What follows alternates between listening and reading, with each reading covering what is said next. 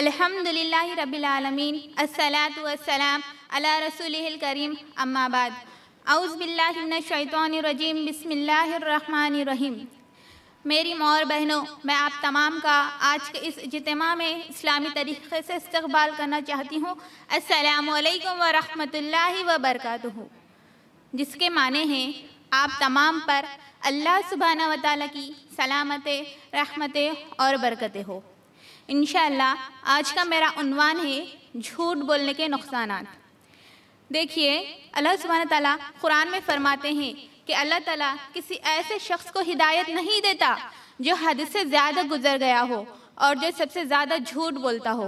तो अल्लाह ताला कुरान में क्या कह रहे हैं? कि झूठ एक ऐसा गुनाह है जो इंसान की हिदायत के रास्ते में रुकावट बन सकता है। और एक जगह अल्लाह सुबहाना ताला ने कुरान में बड़े सख्त अल्फाज इस्तेमाल किए हैं। उस शख्स के लिए जो शख्स झूठ बोलता हो। अल्लाह ताला कुरान में सूर्य इमरान आयत नंबर 61 में फरमाते हैं, लानत हो उस शख्स पर जो शख्स झूठ बोलता हो। ये इतने सख्त अल्फाज हैं ना, पहले अल्लाह ने क्या फरमाया? जो शख्स झूठ बोलता हो, उसे हिदायत नहीं मिल सकती। और दूसरी आयत में क्या फरमा रहे लानत हो उस शख्स पर जो शख्स झूठ बोलता हो। एक हदीस में आता है, नबी सल्लल्लाहु अलैहि वसल्लम को, जिन गुनाहों से नफरत थी आयशा रजील्हाना फरमाती हैं कि नबी सल्लल्लाहु अलैहि वसल्लम को बुरे अखलाक में सबसे ज़्यादा नफ़रत झूठ से थी। और जैसे ही नबी सल्लल्लाहु अलैहि वसल्लम को मालूम होता किसी शख्स के बारे में कि वो शख्स झूठ बोलता हो तो वो शख्स नबी सल्लल्लाहु अलैहि वसल्लम के दिल में से निकल जाता। यहाँ तक कि नबी सल्लल्लाहु अलैहि वसल्लम को मालूम होता कि उसने तौबा कर ली। तो अल्लाह की तरफ़ से भी लानत है और हिदायत भी नहीं मिलती। और अल्लाह के रसूल सल्लल्लाहु अलैहि वसल्लम के तरफ़ से भी नफरत का इजहार। किस शख्स के लिए? जो शख्स झूठ बोलता हो। और एक हदीस में आता है, नबी सल्लल्लाहु अलैहि वसल्लम ने अपने ख्वाब का ज़िक्र किया। सही बुखारी की रिवायत है, नबी सल्लल्लाहु अलैहि वसल्लम ने फरमाया कि मैंने जहन्नुमियों को देखा। जहन्नुम में एक शख्स को अजाब दिया जा रहा था कि एक फरिश्ता खंजर से उस आदमी के जबड़े से लेकर उसकी गुद्दी तक काट रहा था। फिर उसकी नाक से लेकर उसकी गुद्दी तक काट रहा था। फिर उसकी आँख से लेकर उसकी गुद्दी तक काट रहा था। तो और वो फरिश्ता चेहरे के दूसरी साइड में आता है। और यहाँ पर भी वो वैसे ही काटता। उतनी देर में चेहरे की पहली वाली साइड वो अपनी वापस पहले वाली हालत में आ जाती। तो नबी सल्लल्लाहु अलैहि वसल्लम ने जिब्राइल अलैहिस्सलाम से पूछा कि ऐसे ये अजब क्यों दिया जा रहा है? तो जिब्राइल सलाम ने बताया ये वो शख्स है जो सुबह को एक झूठी खबर लेकर निकलता और उस झूठी खबर को लोगों में बताता और वो खबर पूरे लोगों में आम हो जाती। तो मेरी मौर बहनों, एक छोटी खबर के लिए इसे ये अजाब दिया जा रहा है। और ये हदीस कब की? चौदह सौ साल पहले नबी सल्लल्लाहु अलैहि वसल्लम ने बताया। आज यूट्यूब पर व्हाट्सएप पर इंस्टाग्राम पर फेसबुक पर झूठ कितना आम हो गया है? आप सोचिए कुछ ऐसे खबरें आती है जिसको सुनकर इंसान कहता है, अरे वाह, क्या ज़बरदस्त खबर है। और उसको हम फॉरवर्ड कर देते शेयर कर देते, कुछ लाइक्स के लिए, कुछ कमेंट्स के लिए। उसकी तहकीक भी नहीं करते कि वो सही है या झूठी है। उसे ऐसे ही शेयर कर देते हैं। तो थोड़ी सी खुशी के लिए बहुत बड़ा वबाल तैयार कर रहे हैं आप, आखिरत के लिए। तो मेरी मोर बहनों, बहुत एहतियात किया करे, बगैर तहकीक के कोई खबर मत फैलाए। इसी तरह एक और हदीस में आता है, नबी सल्लल्लाहु अलैहि वसल्लम ने सच्चाई के बारे में बताया कि सच्चाई को तुम लाजिम पकड़ लो, क्योंकि सच्चाई जो है, नेकी की तरफ़ रहनुमाई करती है और नेकी जन्नत में ले जाती है।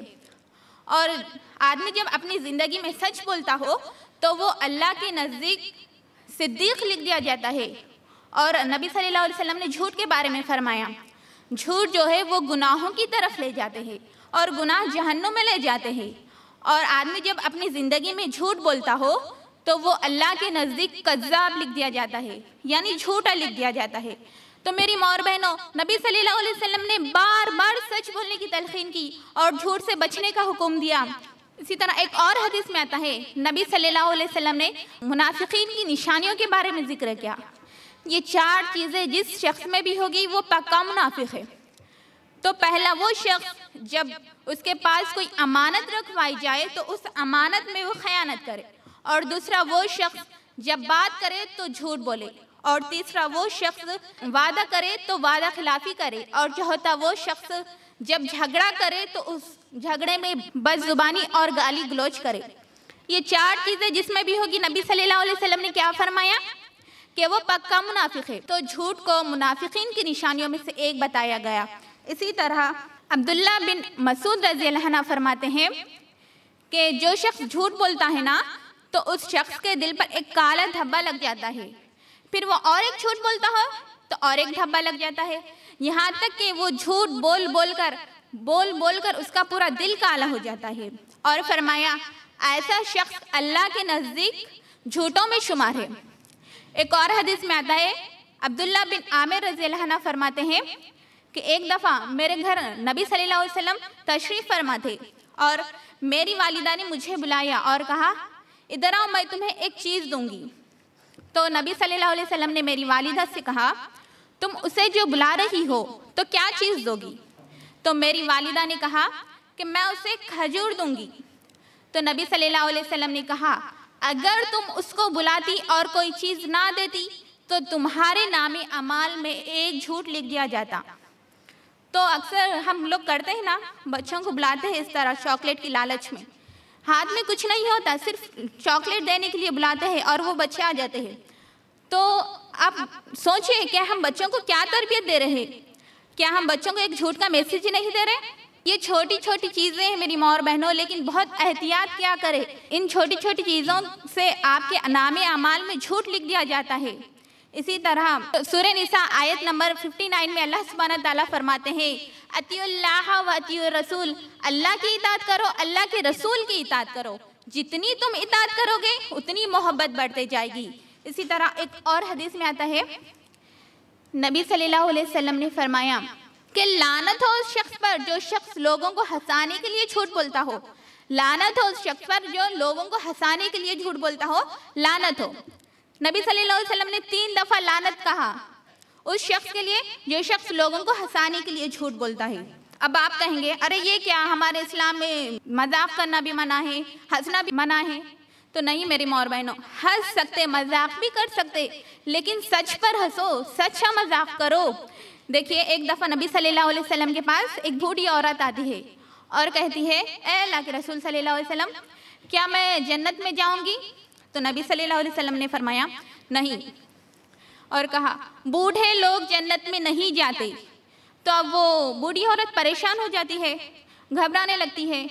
तो नबी सल्लल्लाहु अलैहि वसल्लम ने मुस्कुराया, हंसा और कहा, बूढ़े लोग जन्नत में नहीं जाते, बल्कि अल्लाह सुबहाना ताला बूढ़े लोगों को जवान बनाकर जन्नत में भेजता है। तो नबी सल्लल्लाहु अलैहि वसल्लम ने भी मज़ाक किया, हंसा भी। तो हंस सकते, मज़ाक भी कर सकते, लेकिन सच कहो, सच बोलो, झूठ एक ऐसा गुना है और झूठ कबीरा गुनाहों में से एक गुना है। और कबीरा गुना जब तक माफ़ नहीं होते, तब तक तौबा ना कर ली जाए। अगर ज़िंदगी में ला इल्मी के अंदर कुछ गुना हुए हैं तो अल्लाह से तौबा कर ले, क्योंकि जब तक ज़िंदा है, ये अल्लाह का करम है कि हमें अपनी ज़िंदगी में कभी ये एहसास हो जाए कि हमने हमारी ज़िंदगी में गुनाह किए हैं और तौबा की। और सच्ची तौबा की तो अल्लाह सुबहाना ताला उन गुनाहों को माफ़ कर देगा। क्योंकि अल्लाह सुबहाना ताला कुरान में फरमाते हैं, और जो शख्स ईमान लाए और नेक अमाल करे और फरमाते हैं, मैं उसके तमाम गुनाहों को नेकियों में तब्दील कर दूँगा। तो सच्ची तौबा से गुनाह भी माफ़ होते हैं, झूठ भी माफ़ होता है। आखिर में अल्लाह से दुआ है, अल्लाह सुबहाना ताला हम सबको झूठ से बचने की तौफीक अता फरमाए। वाखिर दावाना अनिलहमदिल्ला रबिल आलमीन।